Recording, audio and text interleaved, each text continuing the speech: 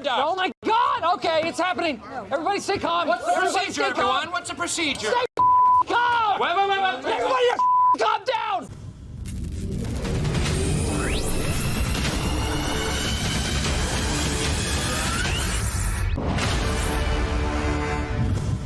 Hello everyone and welcome to Action RPG. I'm your host Aaron, and for today's video we're headed to the world of Diablo 4 once again.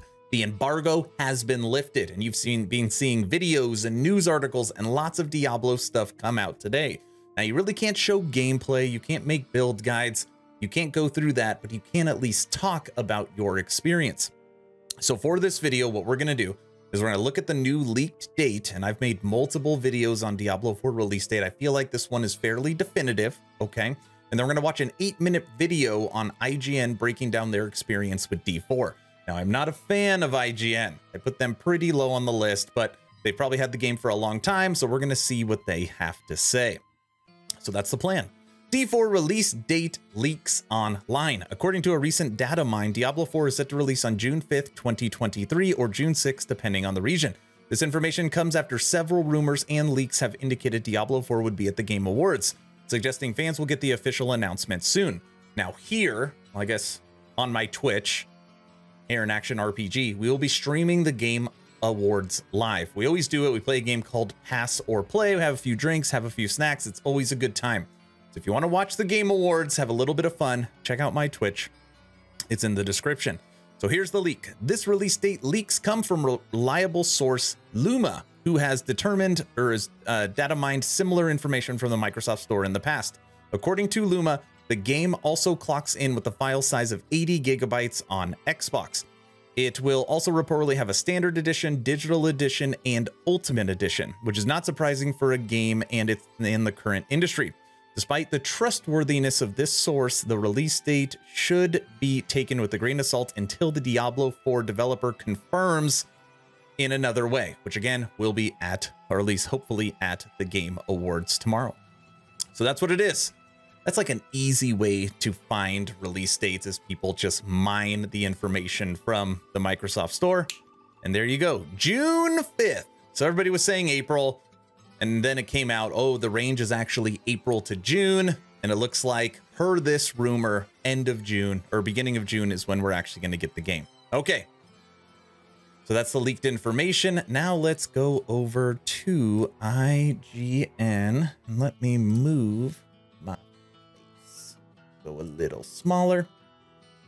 And what we're going to do now is we're going to watch eight minute breakdown from IGN on D4. Just so you know, I have not watched this yet. So if it's horrible, I apologize. Let's do it. It's rare for a game to come along that I can't stop thinking about even when I'm not playing it. There are plenty of great games out there, don't get me wrong, but a precious few keep running in my head even after I've walked away from my PC. As you've probably guessed by now, I can't stop thinking about Diablo 4. Even in its current unfinished state, Blizzard wouldn't let us capture our own gameplay footage, likely due to the placeholder audio in my build and other normal in development stuff that doesn't make for a pretty video, so you're looking at B-roll they put together for us here. Diablo 4 is absolutely crammed with story, content, beauty, character customization, and so much more. I played roughly 12 hours of Act 1, bringing my barbarian from a barely clothed level 1 bodybuilder to Ripped. a decked out, blunt force, trauma inducing level 25 powerhouse by the time I reach the end of this build's content.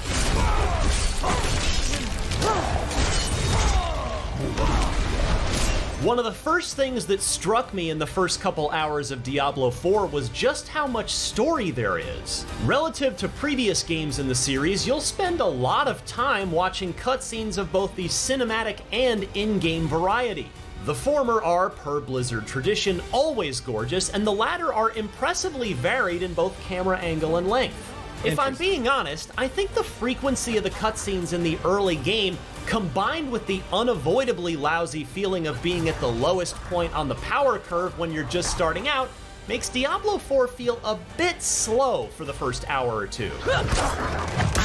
This isn't really a complaint though, as I applaud Blizzard's effort to layer more story into Sanctuary. Making it feel more alive and filled with more history is a good thing. Besides, you'll still spend an overwhelming amount of your time slaying monsters in combat.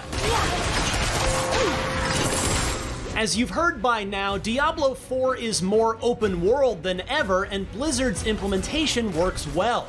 Sure, you can wander anywhere you want, but regions outside of where you're supposed to be in Act 1 are at a significantly higher level, enough to crush you like a bug for roaming into lands you're not yet welcome in. Interesting.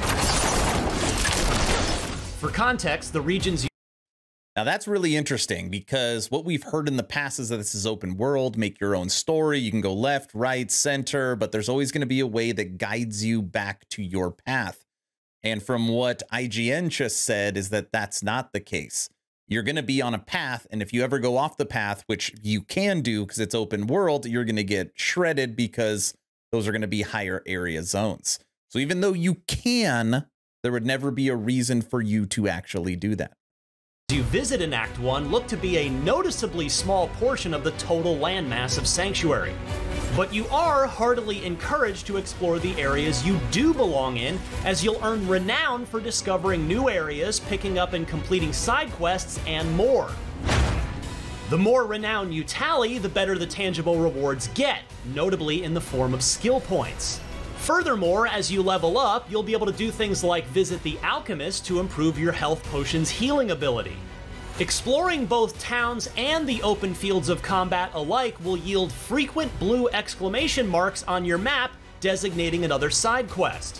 The layers here run both wide and deep, again making Diablo 4 feel like an extremely content rich experience. Speaking of insane layers of content, the skill tree is bonkers in this game in the best of ways. It snakes along, sprouting hub and spoke clusters, with each hub along the way offering between 4 to 8 choices, some of which are either or picks.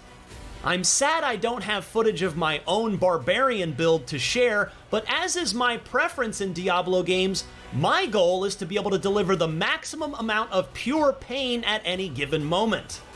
I dumped several points into Bash, my concussion inducing, fury generating secondary attack, while going with the bleed inducing Flay as my primary attack and adding Whirlwind, Leap, and Death Blow as my three special abilities, and then Wrath of the Berserker as my ultimate, which I unlock near the end of my time with this preview version. Meanwhile, you can respec anytime you want for a reasonable fee of in game gold.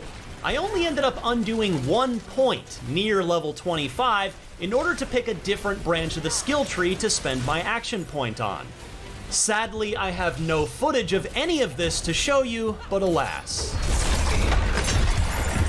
The heart of any Diablo game, though, is of course the way you utilize your skill point choices.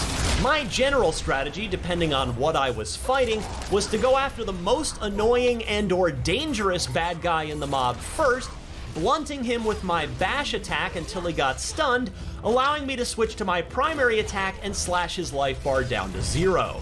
Anyone causing me problems from range had their personal space rudely invaded by my leap attack, which I also put several skill points into because of its usefulness.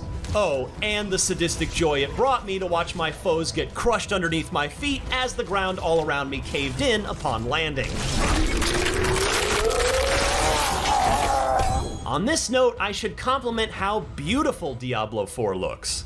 It's got delectable lighting and delightfully violent effects. And using all of your attacks within one battle, as you'll need to do quite frequently before too long, makes Diablo 4 look like a demon slaying orchestral performance that you get to conduct. As I carved up Hell's minions, well, except for the times where they carved me up, my time traversing Sanctuary never got old. Not just because of the surplus of side quests that frequently popped up, heck, even some of the random dungeons with no side quests attached to them were so big that they took me roughly half an hour to clean out. But also the seemingly random in game events, both public and private. I rarely saw any other players due to the relatively small group of people playing this preview build, but you will and that means you're likely to have an easier go of those public events than I did. I held my own in most cases, though I do confess to getting beat down mercilessly by the Stronghold event. Blessed are you who will die in the Mother's name. It's a multi step torture chamber that ended in me getting smote by the final boss of that encounter. I'd meant to come back later after leveling up a bit more, but sadly I ran out of time. Ultimately, Diablo 4 feels like a massively plussed up version of Diablo 2, which is the best case scenario for it in my book. Not that it ignores Diablo 3, there are clear notes taken from the best of that game too, but tonally and artistically, it leans more heavily into the Diablo 2 playbook.